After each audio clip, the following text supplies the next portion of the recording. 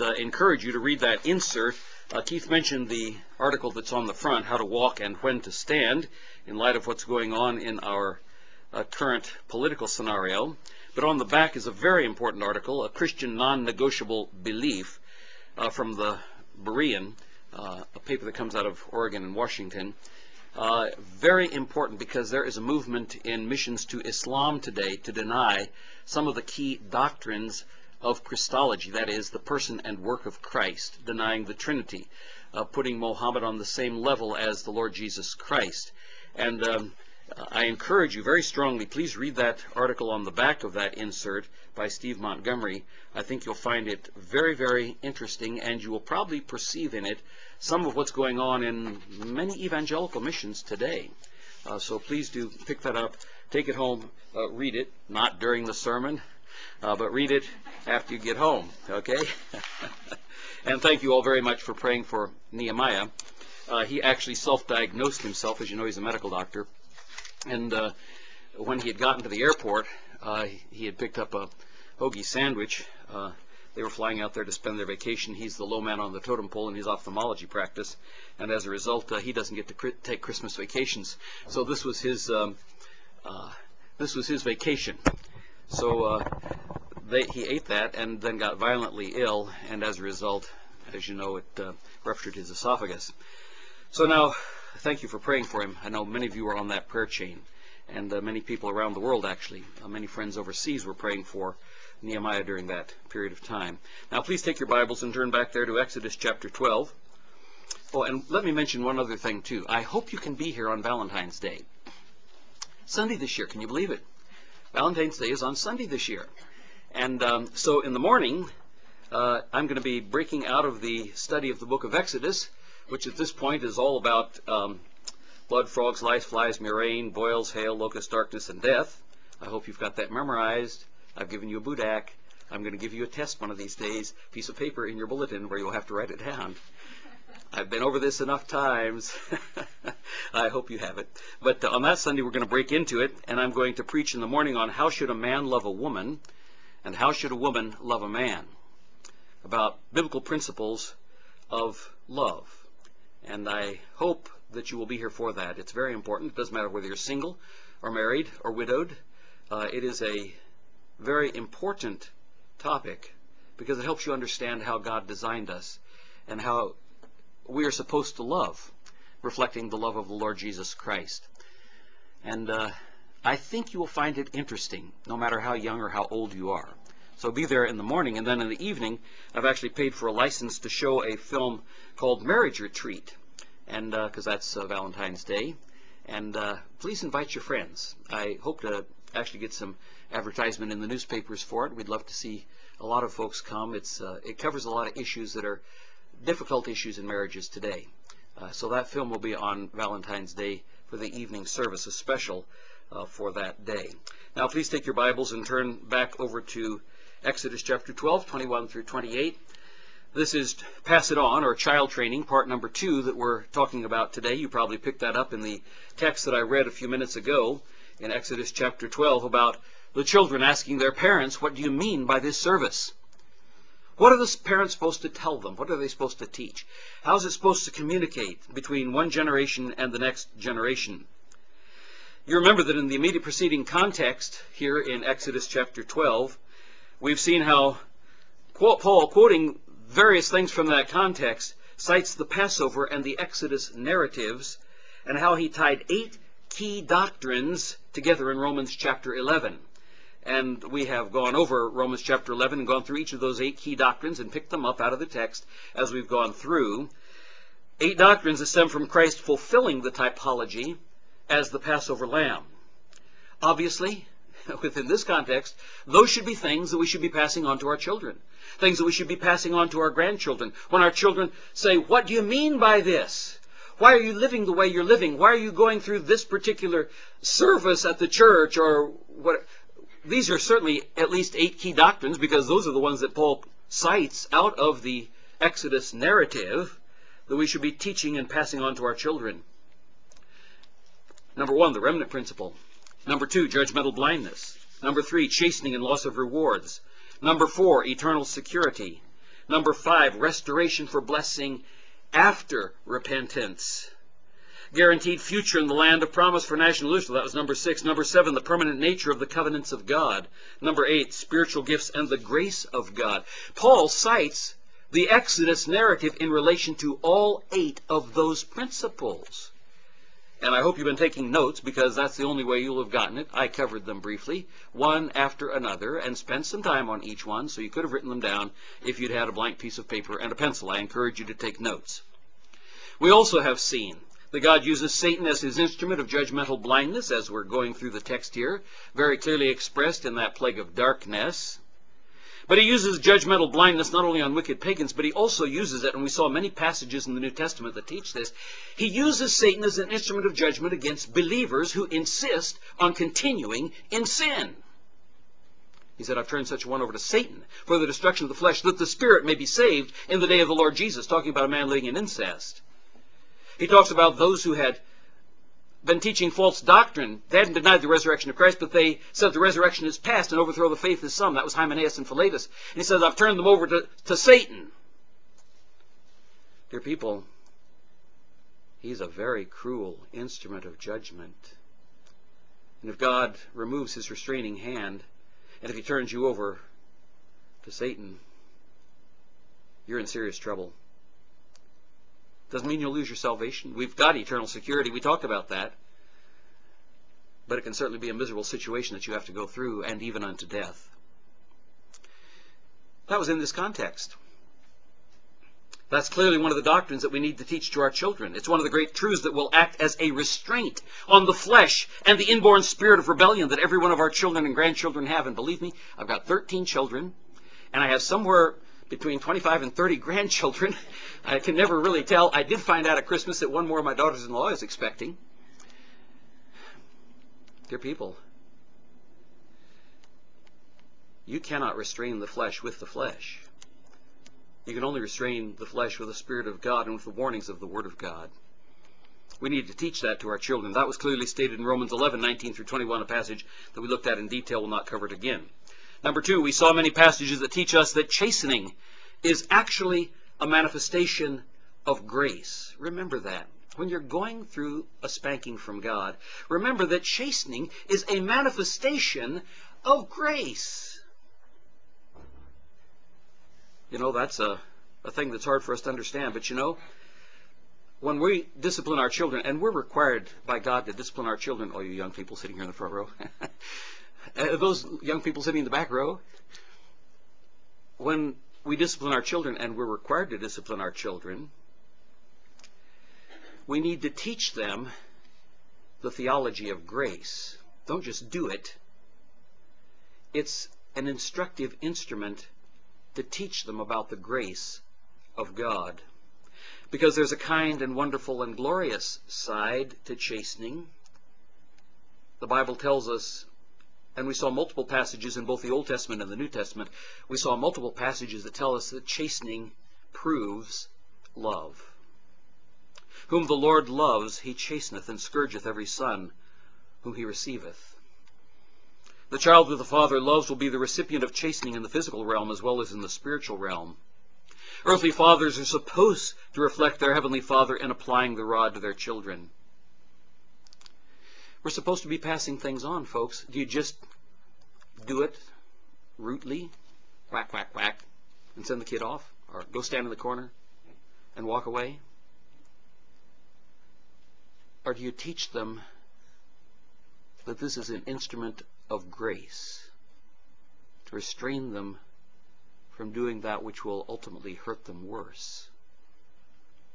Have you taught your children the principle. If you fail to pass them on, when they come under judgmental blindness, one of the main doctrines in our passage, they will not understand that the underlying grace of God is there to bring them through the discipline. We also saw how a true believer, even a hero of faith, and we we see that happening with Moses. I mean, he was a true believer and hero of faith, and yet he got a couple of spankings, real hard spankings from God. But we saw that even other heroes of faith can reach a point of no return. We looked at the life of the sex-saturated Samson. He thought that he was getting away with his repeat sins until suddenly it was too late. There comes a life, even or a time, even in the life of a believer, when he reaches, or when she reaches, a point of no return. When you're recalcitrant, I love that word. when you are stubbornly rebellious and refuse to submit to authority, God puts up with it just for so long. The scripture tells us that Israel rebelled against God ten times in the wilderness. God put up with it ten times, and then God said, from that point on, everybody age 20 and over is going to die in the wilderness. And the kids that you thought the giants of the land were going to eat up, they're going to be the ones that go in and take the land. Ten times. What number are you on?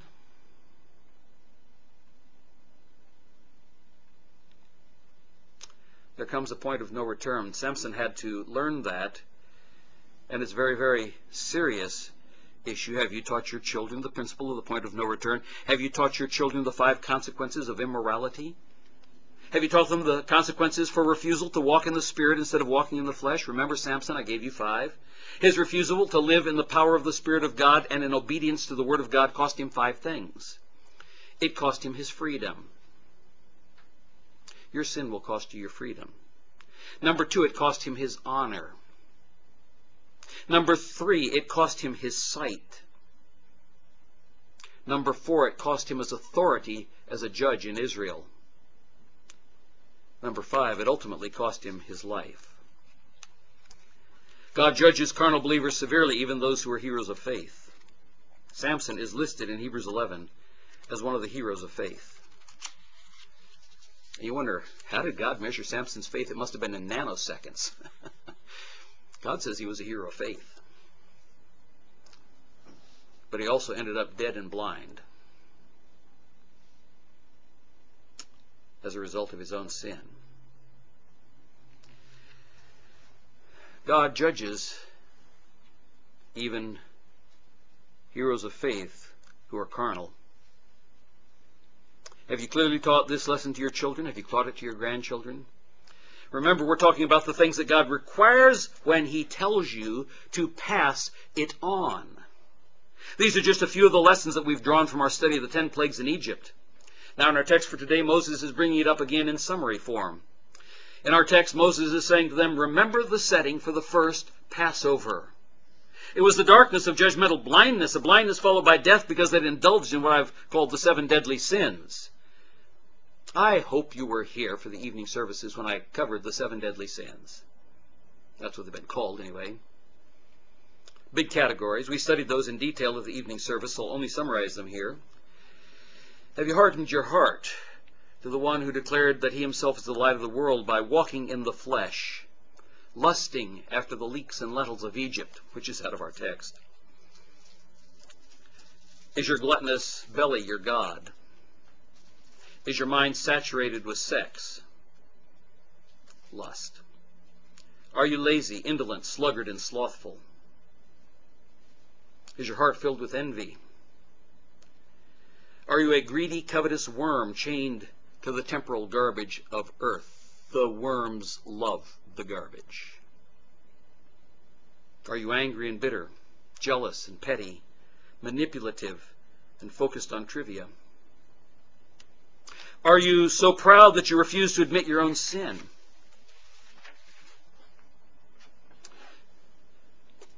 Now, the elders graciously brought to my attention this past week that uh, we've had some recent complaints that my teaching is not clear enough. I hope that was clear what I just said. Uh, maybe you didn't like it. Maybe that's the real complaint, but the elders said to me, you know, your teaching is not clear enough. What are we going to do about it? Well, of course, I'm the only one that can do anything about it, not we. So let me ask you a question. And I don't know exactly who everybody is, but um, let me ask you a question. Every week I do a review and a summary of the week before. I just did that for you a minute ago. I do this at both the morning and evening service. I give you lists of principles and I number them. I periodically summarize the list, like I've just done. I've done this repeatedly through the ten plagues. Did you ever bother to write them down? I am not speaking Swahili. I did this repeatedly when I went through the seven deadly sins. Can you list the seven deadly sins? If not, why not? Is the problem a lack of clarity in the pulpit or of sloth in the pew? I encourage you to take notes on a blank sheet of paper if you need to remember things. Now, last week in particular, we dealt with three foundational areas of passing it on. Passing it on to our children, passing it on to our grandchildren, and in some cases here, passing it on to great grandchildren. Three categories. If you didn't get the categories, here they are again. Teaching, that's communication. Number one. Category number two, discipline. Those are easy words. Category number three, example. How are you living your life? That's like a three-legged stool. If you remove any one of those lessons, you will not successfully train your children or grandchildren in the fear of the Lord. Let me read it out of our text again. Moses called for all the elders of Israel and said unto them, Draw out and take you a lamb according to your families, and kill the Passover. And ye shall take a bunch of hyssop and dip it in the blood that is in the basin, and strike the lintel and the two side posts with the blood that is in the basin. He didn't say, you know, sweep across the lintel of your doorpost and dribble it in a straight line into your house. That wasn't what God told him to say, was it? He didn't say, uh, you know, go outside your house and paint around the windows so they can't, the destroyer can't get in the windows. Moses told them exactly what God told him and none of you shall go out of the house until the morning. Well, but you know, I, I, I hear something out there in the yard. Can't I go out and take a peek? Well, after all, I'd sure like to see what's happening tonight because it's been so dark. And I, I would love to see the angel of death passing over and killing all those Egyptians. Don't go out the door. For the Lord will pass through to smite the Egyptians. That was God's purpose. But you know what? Disobedient Israelites, if there were any, would get hit too. Just remember that. God's purpose is to judge the world. You don't want to be there when he does it.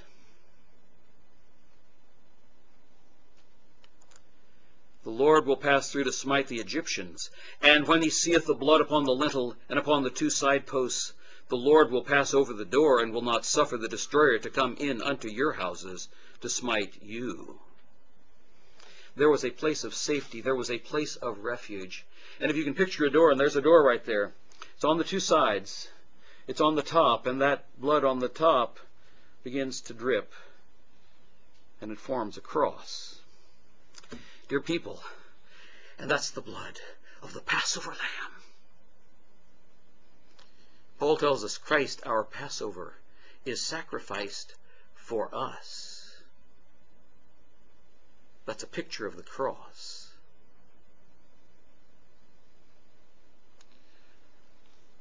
John 1.29, The next day John seeth Jesus coming unto him, and saith, Behold, the Lamb of God, that taketh away the sin of the world. When I see the blood, I will pass over you.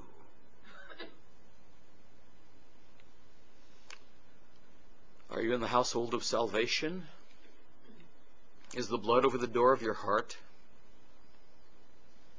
Are you protected by the cross? And ye shall observe this thing for an ordinance to thee and to thy sons forever. It's intergenerational.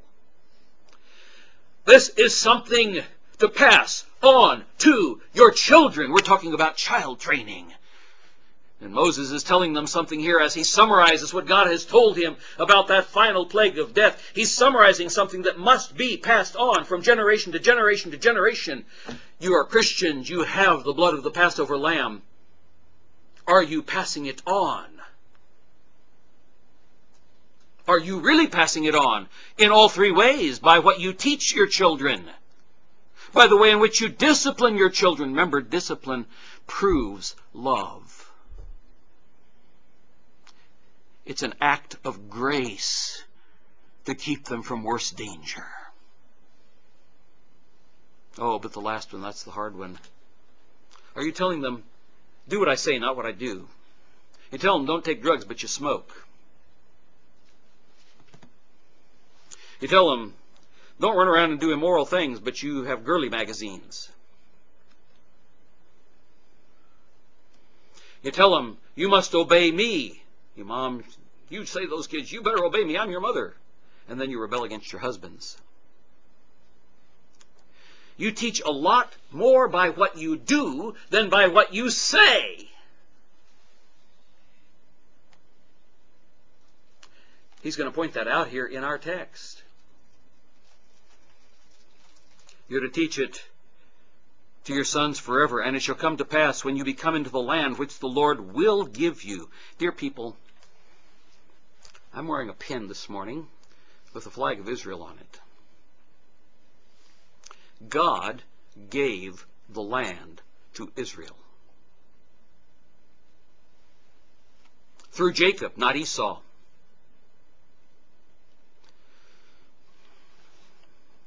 Through Isaac, not Hagar and her son.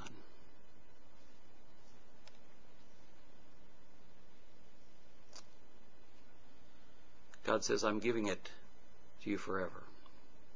The land which I will give to you. Who owns the land? God owns the land. Who has the right to give it or withhold it? God has the right to give it or withhold it. The land which the Lord will give you according as he hath promised. You're going to see God do it, and you are going to keep this service. How long? Oh, the first year after you get into land. That'll help you remember it once you're in the land. No. You and your sons are going to do it forever. And it shall come to pass when your children shall say unto you. It's something that will, in fact, happen. Your children are going to say something to you. You're going to go into the land. You're going to, every year, you're going to remember the feast of Pesach, of Passover. And you're going to go through certain steps. And we discussed Passover in detail, and I brought in the beautiful little Passover plate and showed you all the different things that are in each one of the little cups in the plate. We talked about each one. We talked about how the parents, the father or the grandfather, who's if the head of the table, will teach certain th things and certain lessons, and the children will ask certain questions as they go through the Passover meal and the different four cups of Passover, and the youngest boy going out to the door and opening it to see if Elijah is there. And why do they do those things? They are teaching their children, and they are doing it. So they will never forget. when you celebrate Christmas, do you spend most of your time talking about Santa Claus and presents? Or do you spend time reading the Christmas narrative out of Luke chapter 2, for example, and discussing the miracle of the incarnation of God the Son?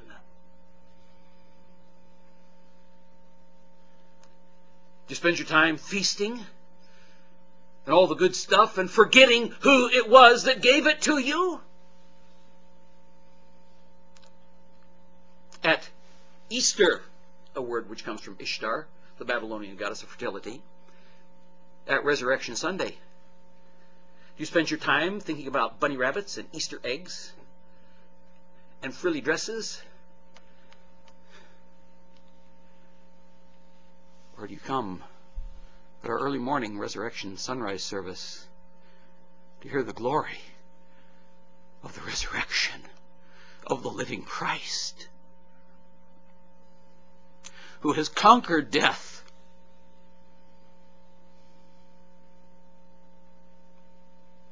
Have you focused on Jesus? What are you teaching, disciplining, exampling for your children? Sloth or diligence? Lust or moral purity? Anger, hatred, and bitterness? Or tenderness, love, and kindness? excuse making, or diligent service? Your children are watching. That's what Moses is telling them. That's what God told Moses to tell them, and that's why they do what they do, and why the Jews, no matter where they have been all through the centuries, are still there and an identifiable people. All the other mighty empires have fallen. I mean, you know, some of the people who are descendants of the Romans, and some were the descendants of the Persians, and some were the descendants of the Medes, and some were descendants of Babylonians, great mighty empires of the past in the Bible. But only one people as a people unit remains, the most unlikely of all, because they have passed it on to their children. Oh, people, I love you. I've tried hard to pass it on to my kids and grandkids, and I think most of them have got it. How about yours? I often hear that this church is well grounded doctrinally. They're sound and they've got a lot of Bible knowledge. Okay. How has it changed your life? How has it changed your life? I love you. I tell you this because I love you.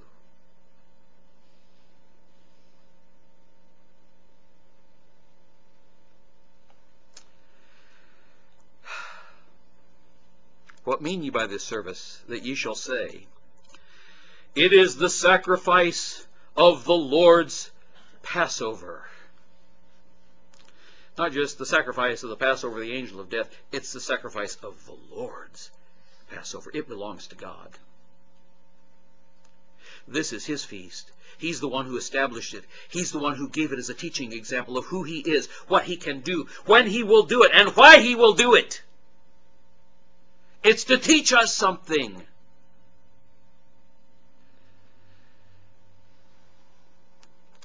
Your children will say this unto you.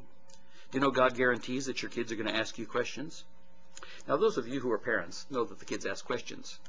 Those of you who are parents of more than one child know that more than one child asks the same question, and you keep having to repeat it one after another. I did that with 13 kids, and some of them didn't get it the first time. They asked me the same question over and over and over and over and over and over and over again, and some of them are still asking some of the questions that I answered when they were little teeny kids. I'm still teaching them when they say unto you, What do you mean by this? I'm still teaching them. I'm still trying to live it in front of them so that they'll have a visible role model as to what this means. Do you?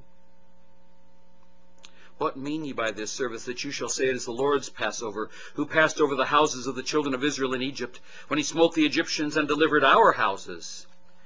Now I want you to look at the last two things. One phrase in verse 27 and verse 28. And the people bowed the head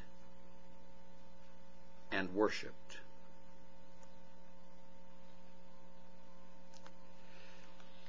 True doctrine, correctly applied, always results in worship. Let me say it again. True doctrine, correctly applied, always results in worship. Uh, as I had my prayer time this morning, right before the service with Brother Keith, here out in the hall, we do that every week before the service. It just struck me how much we miss the point of why do we go to church. Some people go to church because they have fellowship, and that's true. It's a good reason. There's fellowship with other believers. Some people go to church to ease their conscience because they weren't so good this past week and they think that maybe this will get them some points with God. Some people go to church because, after all, they love to sing. And I'm delighted that you folks here love to sing. Wish we had more. Wish we had a grand and glorious choir here. And I certainly appreciate you ladies who participate in the choir. I love music. And our pianists, too. Thank you. Some people go to church because they say, well, I want to satisfy me. I want something out of it. So I can go home and keep on feeling good about myself because I didn't hear anything negative. Power of positive thinking, Norman Vincent Peale. Other people don't know why they're there. They just show up because they always did it. It's habit. You know the main purpose for the church getting together? There are three things. There is prayer. Corporate prayer is powerful. Number two, there's teaching of the Word of God. That's your spiritual food. You should be having a regular intake on a daily basis, but Scripture commands, commands corporate worship.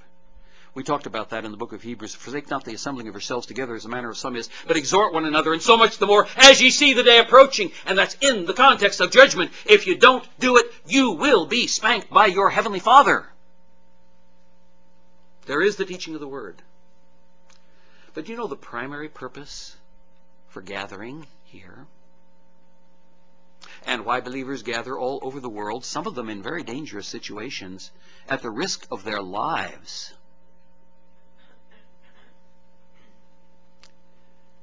It's to worship God. The God of Scripture.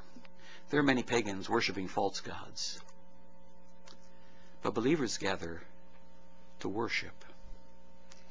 True doctrine correctly applied always results in worship. If you hear true doctrine from this pulpit and you don't apply it, it will not result in worship in your life or when you're here. You'll be thinking about other things. Worship is when you focus on God. Worship is when you are here to say, I love you, Father. I adore you. No matter what happens in my life, I am yours and I love you. Teach me to love you more. I tell you, that's something that God has been working in my life ever since Judy died. Many times I wake up crying at night. And I worship. I worship. I praise Him. I thank Him for who He is and what He's done. And I confess to Him I don't understand it. But I love Him. I love him more intensely now than I did when she was alive.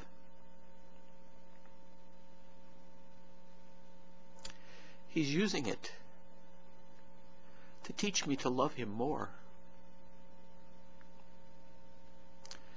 Oh, dear people, I hope you don't have to go through that. To learn to love and worship the God who loves you so much that he gave his son to die for you.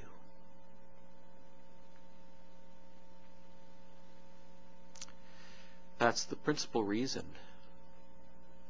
that we're here is to worship.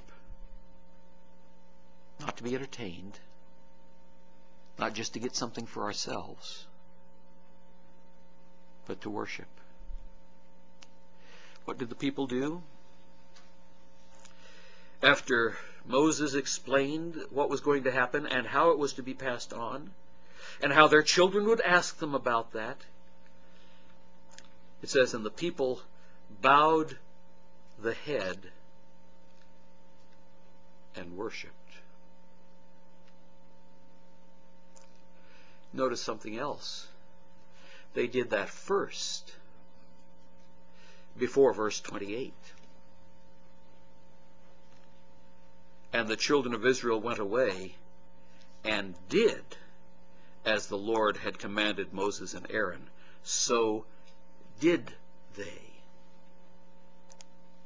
It's not enough to be here on Sunday and say, well, I've, I've fulfilled my obligation. I have worshiped God, and, you know, you put that in quotes. I've worshiped God. But they had heard what God had to say, and today you've heard what God has to say. I hope it has drawn you to worship. But then the people are going to go away. This congregation is going to break up in about two minutes. We're almost done. Will you do what it says in verse 28? The children of Israel went away and did as the Lord had commanded. So did they. Not so thought they, not so talked they about it, not so, well, we thought about it and we hope that maybe someday it will happen in our lives, but hope not right now. They had very little time, folks. It was going to be that night. The clock was ticking. Death was coming. Did you know death is coming for you? You don't know when. You don't know how. You don't know why. Death is coming for you. When they heard, they worshiped, and then they did. Gracious Heavenly Father, we thank you once again for your word and for its power.